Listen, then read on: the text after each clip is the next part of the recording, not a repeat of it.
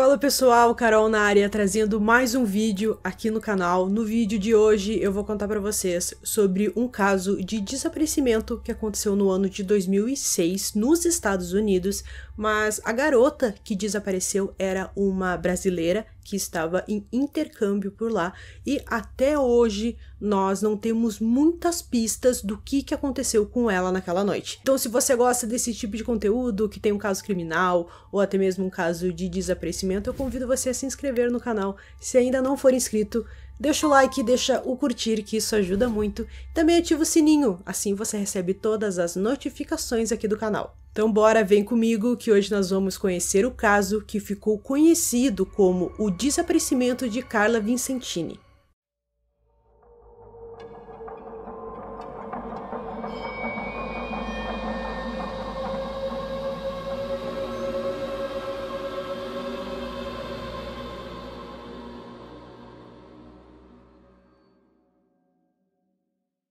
Carla Vicentini nasceu no dia 29 de abril de 1983. Em 2006, ela estava com 23 anos e cursava engenharia têxtil, onde estava no seu terceiro ano da faculdade.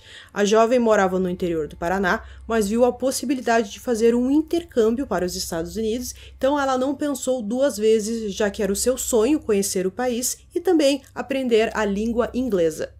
No dia 18 de janeiro de 2006, a garota embarcou para Dover, localizada em Delaware.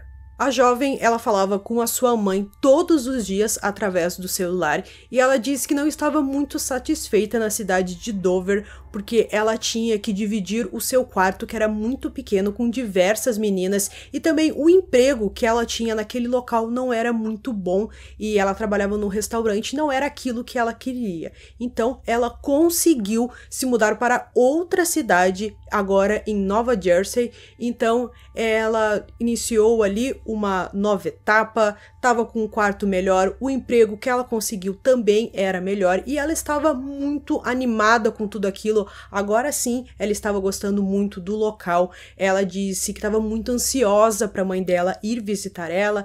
Ela disse que estava vivendo o sonho da vida dela, trabalhando nos Estados Unidos e também aprendendo o inglês. Nessa nova cidade, ela compartilhava o seu quarto com outra estudante brasileira chamada Maria Eduarda e trabalhava do Mediterranean Manor, um serviço para festas. No dia 9 de fevereiro daquele ano, a Carla trabalhou durante o dia e na parte da noite se dirigiu até um local chamado Adega, que era uma espécie de bar e grill localizado no bloco 100 da Fury Street, em Newark, que era a cidade onde ela trabalhava e também morava ela foi visitar a sua colega de quarto que trabalhava nesse local. A Carla chegou no local mais ou menos umas 10 e meia da noite e ela ficou por ali comendo, bebendo alguma coisa, conversando com a sua amiga que trabalhava por lá. Só que ela também estava com um homem até então não identificado, até mesmo a Maria Eduarda, a sua amiga, não conhecia aquele homem, mas mais ou menos umas duas horas da madrugada, que já era o dia 10, ela saiu desse bar, desse grill e foi até o carro desse homem. Esse homem foi descrito como um homem branco na casa dos 30 anos, tinha mais ou menos 1,70 de altura, mais ou menos uns 90 quilos, olhos azuis, cabelo curto, grisalho e um pouco de barba. Ele estava vestindo uma camiseta preta naquele momento. Então, como eu falei para vocês, nesse período que ela ficou com ele dentro desse bar, a gente não sabe exatamente como que eles se comunicaram, até porque a Carla sabia pouquíssimo de inglês e até então a gente acredita que aquele homem falava inglês, mas a gente não sabe exatamente Dizem algumas pessoas que o nome dele era Antônio, mas até hoje isso não foi comprovado. Então a gente, bom, pensa o nome Antônio. Talvez ele fosse brasileiro, ou talvez ele fosse de algum país da América Latina que falasse em espanhol. Então seria um pouquinho mais fácil dos dois se comunicarem. Talvez a Carla entendesse um pouco mais espanhol. Isso são teorias, a gente tá chutando, porque realmente seria muito difícil dos dois conversarem em inglês, já que a Carla, ela não sabia praticamente nada, ela estava lá para aprender. E também ela falou para sua amiga Eduarda que ela ia ver uma foto no carro dele e era uma coisa meio estranho isso acontecendo às duas horas da manhã, mas mesmo assim a Maria Eduarda não se importou muito naquele momento e achou que estava tudo bem. há também a possibilidade de que a Carla estava um pouco bêbada naquele momento, já que ela ingeriu bebidas alcoólicas naquela noite.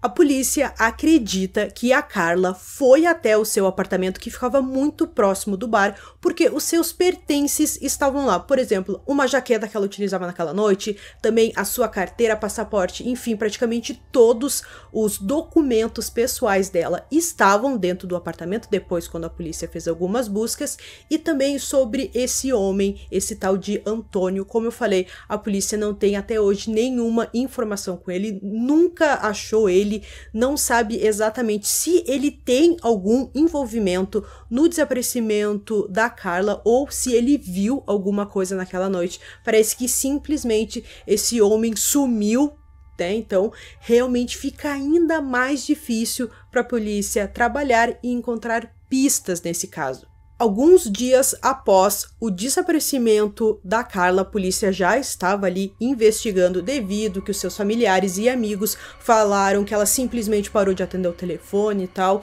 Então a polícia foi atrás para ver o que estava acontecendo. Então uma coisa esquisita aconteceu. Alguém ligou para o telefone do seu chefe e gritou por socorro. A pessoa que ligou nunca foi identificada e não está claro se tem alguma ligação com o caso da Carla. Vários dias depois que a Carla foi vista pela última vez, o departamento de polícia de Norwalk recebeu um telefonema anônimo dizendo que uma mulher estava detida contra a sua vontade em Honesdale, na Pensilvânia. Nenhuma informação adicional foi fornecida. Como eu falei para vocês, devido os familiares entrarem em contato com a polícia, também alguns amigos dizendo que ela simplesmente não atendeu mais o telefone, não, né, não apareceu em lugar nenhum, não estava em lugar nenhum. Então a polícia faz as suas buscas e pede a ajuda do FBI, porque realmente era um caso que não fazia muito sentido. E o FBI, eles até deram uma recompensa de 20 mil dólares para quem tivesse qualquer informação sobre o caso da Carla porque tudo aquilo era muito misterioso e a polícia e o FBI não sabiam mais o que fazer.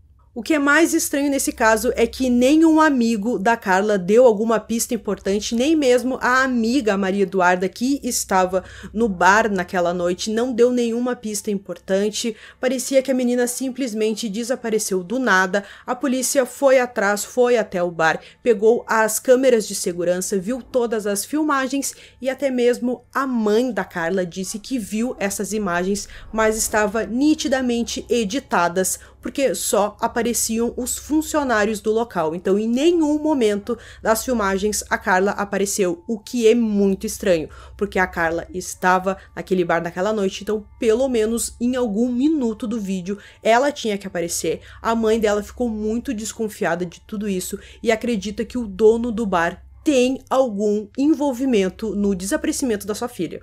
Outro grande mistério que nós temos nesse caso é que a amiga dela, a Maria Eduarda, recebeu um bilhete da Carla naquela noite, mas ela disse que não leu o que, que tinha no bilhete e esse bilhete simplesmente desapareceu. Talvez dentro desse bilhete tivesse alguma pista, talvez ela estivesse pedindo ajuda ou alguma coisa do tipo, mas esse bilhete nunca mais foi visto. Uma hipótese da polícia do FBI é que talvez a Carla, se ela foi sequestrada, ela não foi sequestrada no momento em que ela saiu do bar, porque ela foi até a sua casa, ela trocou de roupa até mesmo, porque ela utilizava um casaco azul naquela noite e o casaco estava dentro do apartamento depois quando a polícia fez as buscas.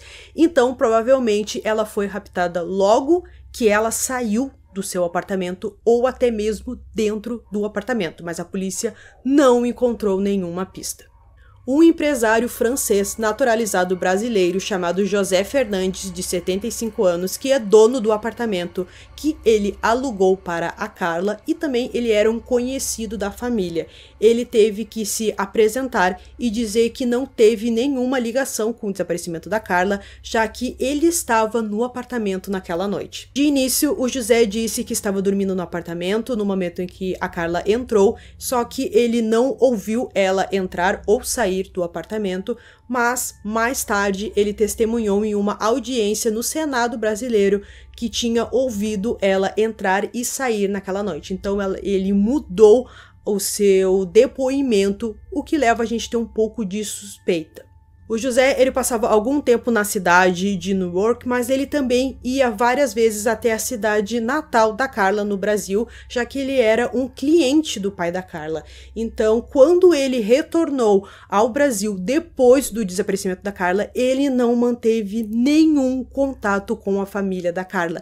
Ele não contou nada, não falou nada, simplesmente parou de ter contato com os familiares dela. Em sua defesa, o José disse que em hipótese alguma faria algum mal a Carla, já que até mesmo ela tratava ele como um segundo pai, e a única conversa que eles tiveram naqueles dias era para ela ter cuidado com a noite americana, porque era um pouco perigoso, então, como ele conhecia bem a cidade, ele deu algumas dicas a ela.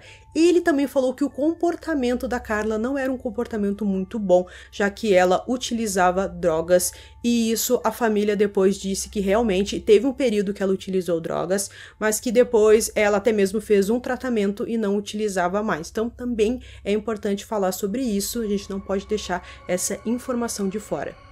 Voltando na questão do apartamento ser muito próximo ao bar, isso dificulta muito porque a polícia não sabe a hora exata em que a Carla desapareceu, que ela foi sequestrada, porque ela pode ter ido para o apartamento e voltado ao bar várias vezes, então isso também prejudicou muito o trabalho da polícia. Nós temos uma teoria que até mesmo é uma das mais aceitas, é que naquela noite a Carla conheceu uma pessoa e na cidade de Newark, que era onde ela morava, Todos os bares fecham às 3 horas da madrugada, é uma lei que existe por lá. Então a polícia sugere que ela conheceu alguma pessoa, entrou no carro dessa pessoa e eles foram até Nova York, até um outro bar, já que lá em Nova York não tem essa lei e os bares ficam abertos até mais tarde.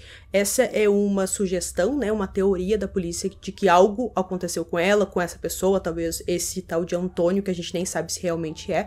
E também tem a questão de que talvez ela foi sequestrada por uma pessoa desconhecida na rua onde havia o bar ou até mesmo próximo à casa dela, mas até mesmo um detetive da cidade de New York disse que não é muito comum isso acontecer, que na verdade eles não têm esse tipo de casos lá, mas também falaram que existe alguns casos de abuso sexual que não foram concluídos nessa cidade. Então a gente pode pensar, bom, será que alguém desconhecido viu ela na rua, levou ela para algum lugar, fez alguma coisa com ela? E até hoje a gente não tem nenhuma pista disso digamos que exista uma pequena possibilidade de ela ainda estar viva e estar sendo mantida em cativeiro por alguém que sequestrou ela naquela noite. Mas a polícia também acredita que essa chance é muito pequena, devido que normalmente quando uma pessoa desaparece e ela não aparece nos três primeiros dias após o seu desaparecimento, há 95% de chance dessa pessoa ter morrido. Então, realmente é um caso que tem essas duas possibilidades. Então a polícia diz que talvez tenha a possibilidade pequena dela estar viva e infelizmente dela ter morrido é maior. Com o passar dos anos, até mesmo porque já faz muito tempo, as autoridades americanas perderam o contato com a família da Carla. Numas últimas entrevistas que a mãe da Carla deu, ela diz que pensa em algum milagre de encontrar a filha com vida, até mesmo da questão dela estar sendo mantida em cativeiro ou algo do tipo, que seria bom por ela estar viva, mas horrível, porque já são praticamente 15 anos que ela estaria presa, então realmente seria algo terrível. Mas a mãe pensa que existe essa possibilidade, mas também tem a questão que é mais forte da possibilidade dela já ter morrido tem uma parte no site do FBI especificamente para Carla, então eu tô deixando para vocês aqui na descrição um link, caso vocês queiram ver ali, tem algumas características dela, que ela usava piercings, tinha tatuagens e tal, que ficaria mais fácil de identificá-la. Então, gente, hoje eu trouxe esse caso para vocês. Foi uma dica de um inscrito aqui do canal que realmente é um caso muito misterioso. Eu acredito que é um dos mais misteriosos que eu já trouxe aqui para vocês, porque a gente praticamente não tem nenhuma pista do que que aconteceu com ela. A polícia não encontrou nada, aquela amiga também que estava no bar naquela noite, que foi a última pessoa a ver ela com vida também, não deu praticamente nenhuma informação. Ela só descreveu esse tal de Antônio, que a gente também nem sabe esse Antônio. Outro mistério nesse caso é que esse homem simplesmente desapareceu. Algumas pessoas acham que até mesmo ele nunca existiu e foi invenção de, da polícia ou até mesmo da amiga dela. Então, enfim, são apenas teorias e esse caso é muito triste porque já se passaram 15 anos e a família não tem uma resposta. Se você conhece algum caso de desaparecimento que queira que eu traga aqui nas cestas, nos casos misteriosos, deixa aqui embaixo que com certeza eu faço um vídeo aqui para vocês. Então eu espero que vocês tenham gostado desse vídeo. Esse foi mais um vídeo aqui no canal. Durmam bem e até o próximo.